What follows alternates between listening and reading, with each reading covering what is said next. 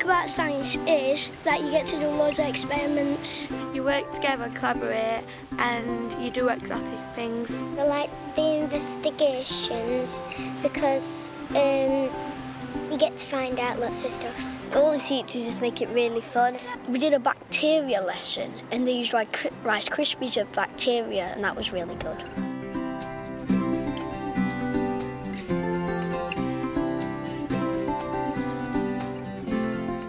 2007, Monteney Primary School in Sheffield received specialist science status, an achievement that's seen their science teaching go from strength to strength. What it's meant for the school is that we've been able to get involved in lots of science projects because we've had additional funding. We've been able to work with lead science professionals. We've had lots of inset time and training days where we can find out new initiatives in science and we can pass them on to the staff. It's meant that we can fund extra science trips and extra visitors into school, which can help to bring science alive for the children. So very lucky this afternoon we've got lots of adults that have come to help. Hopefully you're going to come up with some questions that we could investigate in our classroom this afternoon. Before we do that I've got our microscope here. So I'm going to find a worm. Let's see if I can find a nice big juicy one. Or put your hand up if you can tell me about the worm. It might be about how it moves or what it looks like. Brandon? It's like a snail because um, it's got slime on it so it can move. Right, so you think it might be a little bit slimy to help it slither along? Monteney always put on an innovative science week from which several ideas have continued. One of these means bringing visitors in, but it's not the usual visitor you might expect to see in a science lesson. Want you've got a big piece of paper on your table and I want you to see if you can come up with as many questions as you can that you could investigate this afternoon. Josh, do you want to go and sit with your mum? Caitlin, do you want to go and sit next to your mum? Alicia, do you want to go and sit with your dad? Alyssa, go and sit with your dad. Okay. Right then, what shall we investigate then about worms? Uh, to see if you like food. What kind of food? We've got all the Fruit. I know what I want to investigate, whether they like day or night. No, just cross it out and just put, do they like water? You don't have to put this here. Cross that one. Leave it at that. Right, there you go. Oh, we're doing two. You can do if you want to do two. What other questions shall we ask? Like, do they, do they have any stripes? You could put that down. Or worm stripe. Last year we had a Bring a Parent to School afternoon, which was just really an initiative to get more parents involved in what their children are doing at school and make them more aware. But it wasn't science-based, it was really up to the class teacher. So I thought with us having the special science status, it would be a good idea to make parents more aware really of how science is impacting on children's learning in school and how it's becoming a much more creative subject. Right, that's his plan. This is what we're going to make. Just So- cross Rice Krispies out. Right, we'll cross Rice Krispies out. Right, cornflakes. Whoa, you're a cheeky one, aren't you? Where are you going in there? Which corner? They go in that corner, right then. So if we put all in there. If we pour some in, and then then we can pass it on to your friends, can't we? But we're making a mountain, so we need plenty. That's it. Daddy's going in mud. Dad, Dad, Dad's Try it with cornflakes. I think he likes cornflakes. Disappearing under cornflakes. Bit of this soil, right? Oh, he's off. See if he likes cornflakes. Let's leave him. That's one stuck in Stellatate, and I think that's going to go out. They're all going towards soil. I think they all like the soil. Yeah, you can't look see it from there. Right, if you can just look this way then, please. Do you want to put your hand up if you can tell me something interesting that you found out? If maybe you found an, found an answer to your question, or maybe you've discovered something else that you didn't know when we started this. Josh? They, they didn't like hot or cold. Right, so you found it didn't really matter whether you, you put ice cubes in one side, didn't you, and some warm paper in the other, and they didn't seem to mind which side they went to.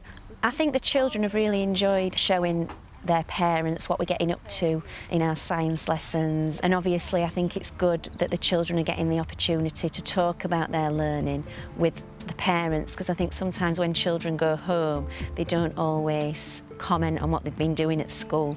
So I think it's really nice for both children and parents. I think it's good to come in and uh, help out with, with kids and um, you know listen to what, what they've got to say, their different um, examples and uh, experiences with worms. So it's really good. I just like getting involved and know all what's out at normal for my own see it like and other children's fine. I just think it's important to help the children with their learning, uh, see how they are working at school so you can help them at home. It takes me back to my school days. I can't remember doing anything like this. So it's got to be good. Next thing as a parent, you can see how they teach science, so you can then support it at home. So, and when they're talking about it at school, you, when they come home and tell you about it, it's nice that you've been involved as well. So, yeah. I, I think this is brilliant. It's great, and I enjoy it more than they do, I think. But now joining in and that, and it's been nice to come to school and see what they do because. As parents, we don't really see it, so it's great to come in and, and, and, and do that, and I think it's brilliant. I love it. Okay, our task today then, you're going to see if you can write a science song. The cross-curricular approach is becoming increasingly important in primary teaching, and Monteney work extra hard to make sure topics covered in science link in with literacy, numeracy, ICT, art, drama, music and D&T. And you're going to write a science song to a tune, and the tune's going to be either Hickory Dickory Dock or Twinkle Twinkle Little Star. And what you're actually going to be trying to do is explain a science fact. I think our school really stands out for science because we really bring science alive for the children. We've been following the creative curriculum in school now for a couple of years, so looking at each half term having like a unit, so for example dinosaurs or the ocean, um, and what we're trying to do is bring all areas of learning to that unit, so making sure that you cover some literacy text based around that, link some maths in, some art, drama, and we've been looking at various ways of recording science, so it could be newspaper reports, it could be by writing a song, it could be by acting acting out a role play. It's actually then feeding into other subject areas and making it more meaningful for the children. Holly's group has chosen the science question, how are shadows formed? Have you taken on characters each? Shadow. Uh, yep, Holly, you're a clock. You're a mouse, and over here? You're the light source. Okay then, girls, when you're ready? Hickory dickory dock, the mouse ran up the clock. It blocks the light, performs a shadow. Hickory dickory dock, tick tock. Well done, give them a clap. Well done, girls. Excellent. Right, can you get back to those positions exactly what you were then? Exactly. You know what I'm going to say, don't you, Courtney? Get back to your position exactly right? Okay, and I'd like you to have a look at this, right? We've got Miss Light Source here shining, rah, rah, rah. We've got little Squeaky Mouse over here, and beside her is Shadow. Is any, would anybody like to comment on the position of Courtney? Get back to where you were. Would anyone like to comment on that? Uh, Bethany? The mouse is a the shadow's supposed to be behind the mouse. Well done. And at the moment, I know she shuffled a bit, but get back to where you were, right? So you've got light source here who is shining, and the shadow's there. So you stay still, you come up and move her where you think she should actually be. Behind the mouse. Okay, excellent. Very well done. You know what, guys? You've been absolutely fab today. Great work on your key skills. Fantastic science facts. Let's give yourselves a round of applause. Well done, guys. One successful idea born from Science Week is WOW Workshops, a series of fun, exciting enquiries covering lots of different topics designed to enthuse all pupils. Right, today we've got a special experiment to do. What we do is we have um, mixed year groups. We have ones and twos, threes and fours and fives and sixes mixed together and they get the chance to visit four workshops within the week. And we call them WOW workshops this year because we've been doing lots of work on scientific inquiry, the different types of scientific inquiry such as fair testing, um, classifying um, and we wanted the teachers to really focus their workshops on scientific inquiry rather than knowledge-based workshops. Today, Year 5 are investigating bottle rockets and teacher Richard Owen begins the topic with a related story. The bears in the story have run out of rocket fuel and are stuck in space. The pupils will have to conduct an inquiry into how they can get the bears back home safely. The fuel tank, it's empty. We're stuck on Mars. Erica thought very hard.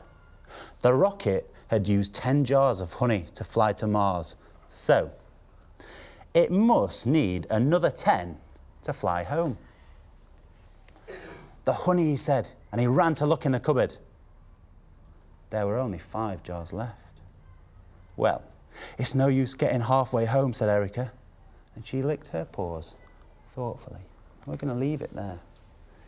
Now, Eric and Erica have got a problem. What I'd like you to do now is just turn to face the whiteboard. On here, we've got what we're going to do and how we're going to do it.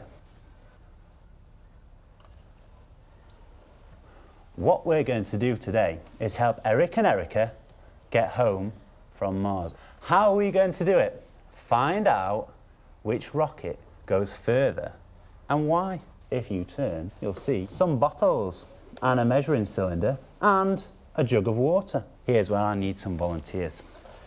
Because what we're going to do is make some bottle rockets and we're going to go outside and launch them to see which bottle we need to send to Mars with the extra honey to get Eric and Erica home.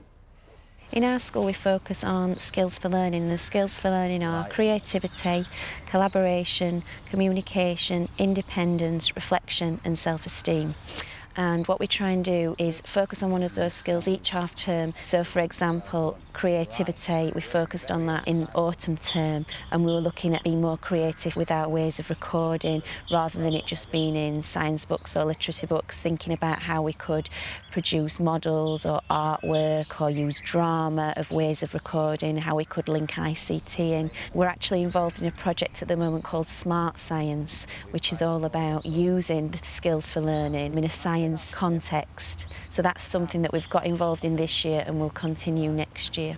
Now, we said that we're going to put air into there. How are we going to put air into there? Put that end into the top and we're going to pump it. We're going to pump air in there. If you look there, there's a hole in the top for the air to go in. But once we put this nozzle in the top, the air can't escape. Now then, who would like to come and have a go at pumping the air into our rocket? Larissa, up you come. Okay, everybody. Are you watching, Kieran? Go for it.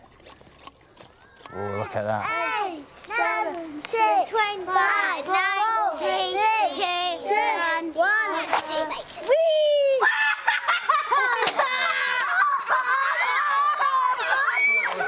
Our plans for science is to continue with the good work started so far, to continue getting the children and the staff to be really excited about science.